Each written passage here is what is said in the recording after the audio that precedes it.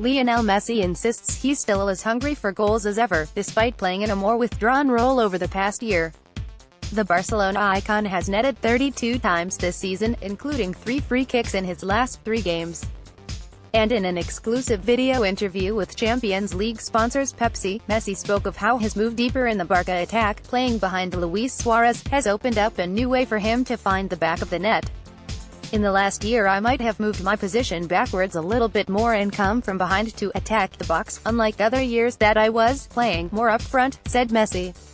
Messi has been in stunning form again this season. Image, Reuters. The Argentinian plays behind Luis Suarez in attack. Image, Action Images via Reuters. It is true that I've done that, but always with the idea of continuing to score goals, Messi also recounts his favorite Champions League goals during the interview, even though he struggles to recall specific examples seeing as he's hit a remarkable 98. Messi fondly recalls his goal against Real Madrid in the Champions League in 2011. Image, Getty Images, I always say that I remember important goals like those of the Champions League finals or the semi-finals against Real Madrid, he said.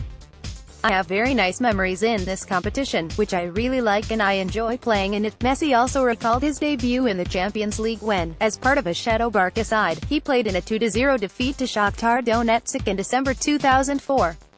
The forward made his Champions League debut in 2004. Image, AFP, Messi stars in a new Pepsi advert with Dele Alli, Carli Lloyd, Marcelo and Toni Kroos. Image, Pepsi Max My first match in the Champions League was in Ukraine against Shakhtar Donetsk, he continued. It was a match featuring many guys from Barcelona B, because Barcelona had already qualified for the next round.